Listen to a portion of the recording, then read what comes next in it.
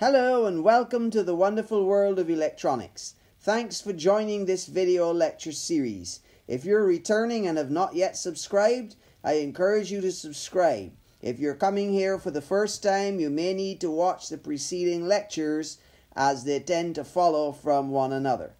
Now, there was a number of issues that I did not address in the last lecture, uh, which I'm going to postpone until a future lecture because I need to kick off the semiconductor lecture with some introduction. So we will return to the missing aspects of capacitors and coils. That was a very long lecture. The last lecture was, and I want to keep this one short.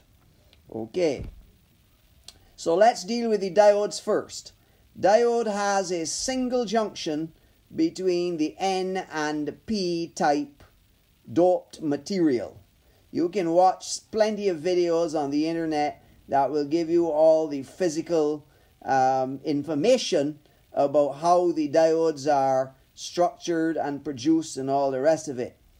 But uh, the purpose of the electronic part is what we're concerned with in this video and it was originally designed to act as a one-way only conductor. That was what the first diodes did. However, in 2018, with all the focus on renewable energy and energy reduction and all the rest of it, the light emitting diode has become very important as an efficient source of general illumination, and therefore, this one way conduction aspect is not relevant in this particular application when the diodes are being used to uh, replace normal incandescent and fluorescent bulbs they're not being strictly used in the diode way. They may have diode properties, but they're not serving the diode function in electronic circuits. Other uses of specialized diodes that have been constructed in addition to LEDs are Zener diodes, which are used for voltage regulation. We're not going to look at them, that's not a beginner topic. And frequency control, which uses a varactor diode, which is highly modified so that it acts as a capacitor and uh, the bias varies the capacitive effect. But this is not introductory material. We want to get you into projects, building circuits as soon as possible. So let's examine the diode. First of all, the symbols.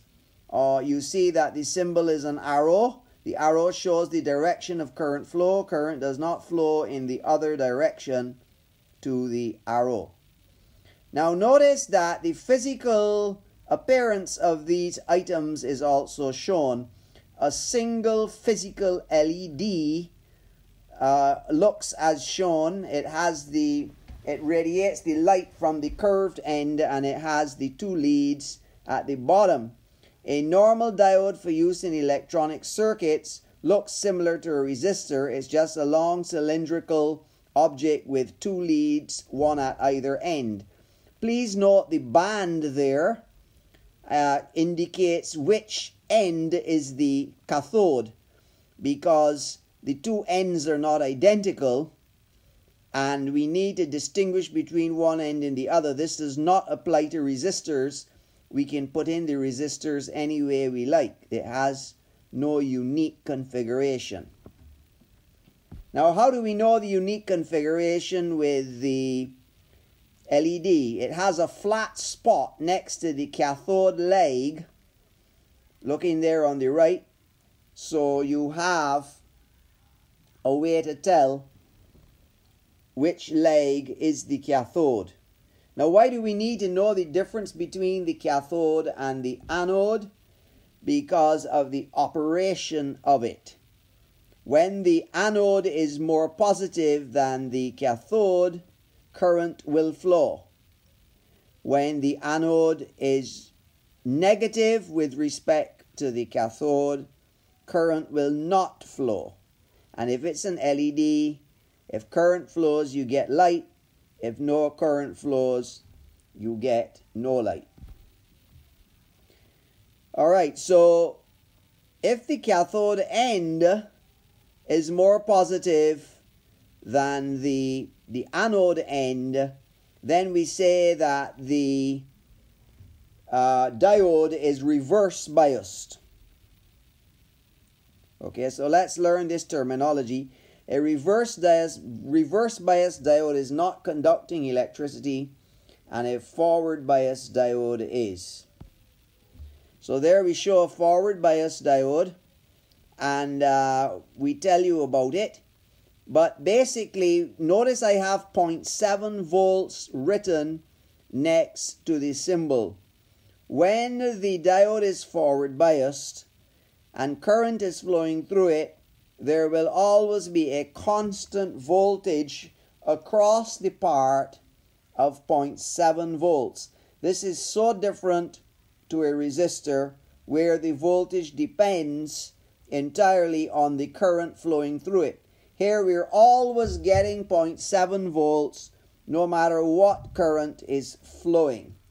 So obviously diodes do not obey Ohm's law. We come now to the transistor. A bipolar transistor contains two junctions, one forward bias and the other reversed bias. So we could sort of draw this as two separate diodes, but we wouldn't get the right behavior out of it because the sum is more than the parts. It does not behave like two connected diodes, which is what we're going to draw now. Here we have two connected diodes, one forward biased and the other reverse biased, as you can see. And we have the transistor drawn on the right hand side. And you can see that I have a do not equal sign between them because we do not get the same result. Notice in the middle diagram that the NPN material is connected all together. Connected all together Whereas if we have two uh, diodes back to back like that with a, a wire connection between the two independent diodes, we actually have two pieces of P material connected with a wire. We don't have a continuous piece of P material as we do. And of course I have shown and indicated the junction between the P and the N material. So that is the symbol for the transistor there on the right hand side. And where I have those two plus signs, it merely means that the collector is more positive than the base. The, we have the emitter, then the base has a positive voltage, and the collector has to have an even higher positive voltage because the higher positive voltage on the collector than the base is what forces that second diode between the base and collector to be reverse biased. Transistors are amplifiers, they amplify current, and that's the most important property of a transistor to amplify current. Transistors do not obey Ohm's law, but this does not mean that we cannot use Ohm's law when working on transistor circuits because transistor circuits are going to have in resistors and the resistors obey Ohm's law at all times. So even though the transistors themselves do not obey Ohm's law, when working on calculations with transistors, we have to use all the laws that we have already learned. Okay. Now, how about an example problem? For our transistor introduction, we will just use the transistor in its most common configuration, which is called common emitter because the emitter leg is shared by both the input and the output circuit. The input circuit is a low current circuit and the output circuit, which is amplified, is a high current circuit. There you see I have drawn a little circuit that shows how the transistor incorporates into two circuits.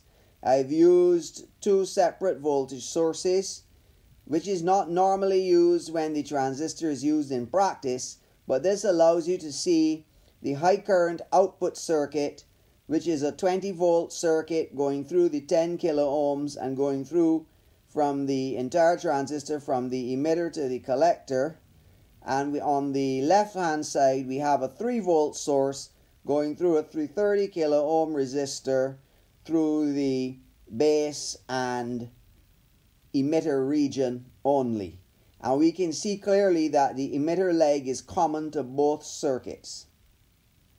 So the base current, which is the one current flowing in the left hand circuit, and the collector current, which is flowing in the right hand circuit, are going to combine in that emitter leg and it's important that we understand that. Okay, now we need to name the legs. Let us be perfectly clear about these legs. You may have some mystery involved with these legs. They're E, B, and C, which stands for emitter, base, and collector. And uh, the transistor will have three leads or legs coming out of it.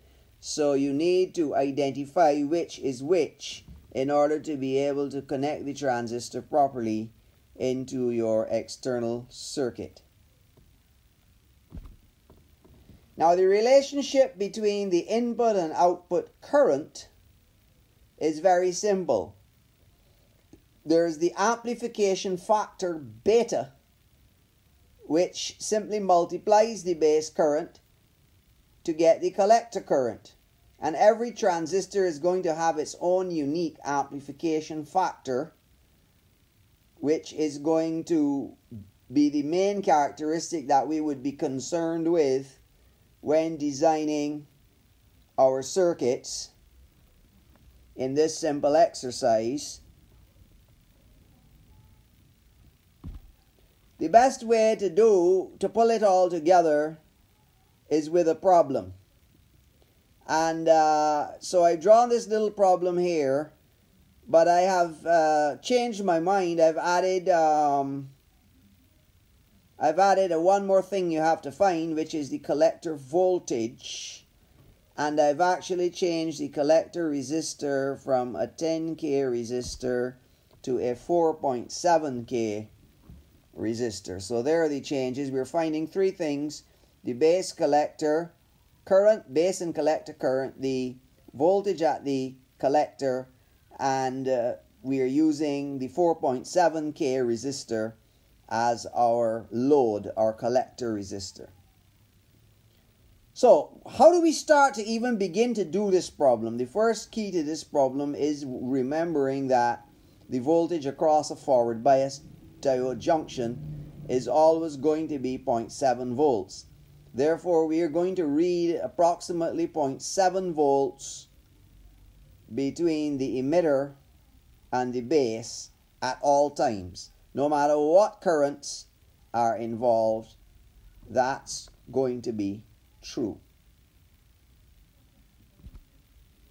All right, so there's a circuit now that just shows the small current circuit, the input circuit by itself. We've left off the collector lead and we have the 20 volts because there's only one power source in this going through the 820k resistor with the 0.7 volt voltage drop across the forward bias diode uh, junction there in the transistor.